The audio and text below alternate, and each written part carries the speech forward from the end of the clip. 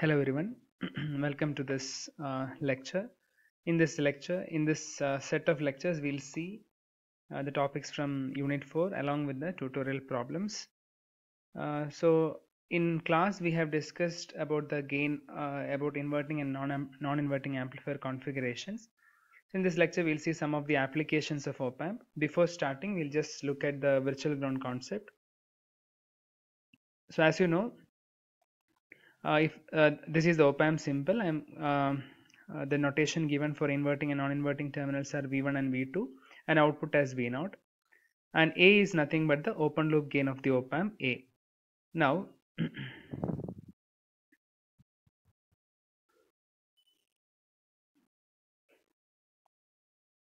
yeah so uh, I can write V2 minus V1 into A is nothing but the output voltage. So for an open loop configuration, output voltage can be written as V2 minus V1 multiplied by A. Or in that case, I can write V2 minus V1 as V0 by A. And now if A is equal to infinity, V2 minus V1 will be equal to 0 or V2 is equal to V1. That is nothing but the virtual ground property whenever I am considering uh, op-amp with the infinite open loop gain. That is nothing but the ideal characteristics of op-amp. So uh, with that, if I derive the uh, gain of the inverting amplifier configuration by writing a KCL at this particular node, I can consider a current here. The same current is flowing through here. So I can write Vi minus, so by virtual ground, if this is at 0, this will be also at 0. So Vi minus 0 by Ri is equal to 0 minus Rf, 0 my, minus V0 by Rf. So if I write that, I will get this expression V0 by VIS minus Rf by Ri. Uh, so this is the ideal uh, gain. This is the gain of the inverting amplifier if I am considering open loop gain of the op amp as infinity. Now uh, if you see the finite open loop gain or if I consider the gain of the op amp is not infinity, not the ideal case, if it is having some finite open loop gain, uh, then also I should know what is the gain of the inverting amplifier configuration. So for that uh, I have taken the same principle from here uh, for an op-amp v2 minus v1 into a is equal to v0 so here in this case my v2 is equal to 0 so I can write v2 minus v1 into a is 0 so 0 minus v1 into a is equal to v0 so I'll get v1 as minus v0 by a. So this potential I'll get the potential at v1 as minus v0 by a. Uh, yeah so so uh, the this concept if a is infinity uh, the the the zero voltage at here this uh, v2 and v1 both will be at zero. Since a is not infinity uh, v1 need not to be at zero. So the v1 potential is nothing but v0 by a minus v0 by a. So by the same uh, thing what we have done before if i write a kcl at this particular node 1 the current through ri and rf both are same.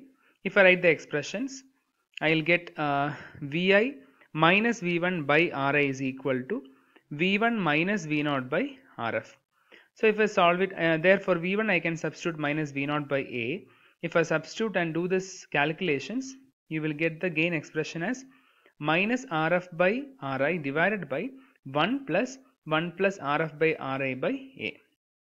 So this is the gain of the op amp when the uh, open loop gain is uh, when i am considering a with a finite value. Now in the same expression if you substitute a as infinity you will get this term as 0 so v0 by vi is nothing but minus rf by ra that is what we derived before.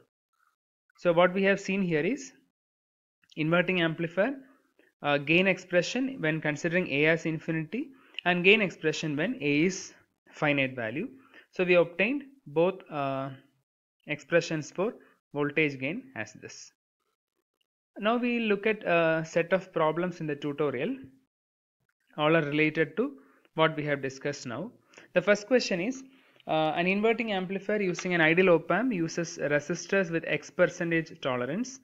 Determine the tolerance of realized closed loop gain and the nominal closed loop gain is minus 75 and X is equal to 5, find the range of gain values expected in such a circuit. So uh, what we can do here is it is given that it is an ideal uh, it is an inverting amplifier using an ideal op amp so I have drawn the uh, circuit for an inverting amplifier. Now, but it is given that the resistors used are with X percentage tolerance.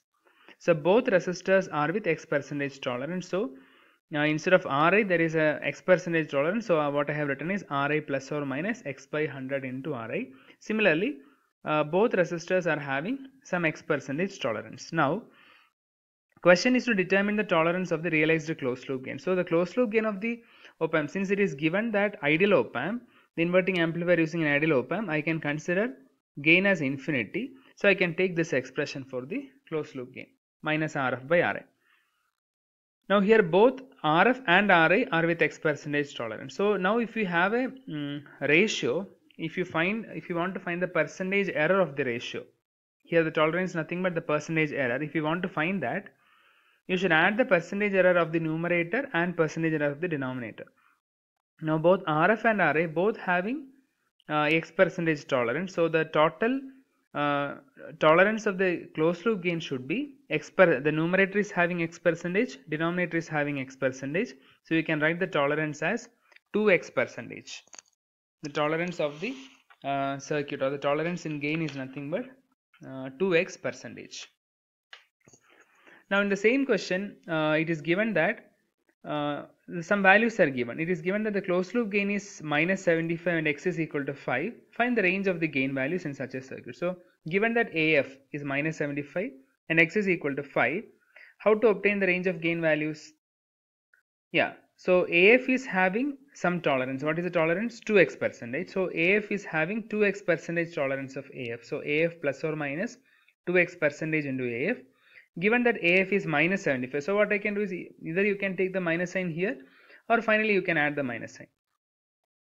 So uh, 75 plus or minus x is 5 so 5 into 10 10 percentage 10 by 100 so it is 7.5 so you should add 75 plus 7.5 and 75 minus 7.5 both with a minus sign. So the range of the uh, gain value is nothing but minus 82.5 to minus 67.5 since it is a non-inverting amplifier. Yeah. So i'll stop in this uh, stop here in this lecture. I'll continue in the next lecture with the other two problems. So instead of writing and recording what i have done is after writing i'm just um, adding the audio so that even uh, the videos will be shorter. So please uh, watch the video and if you have any doubts uh, get me back. Thank you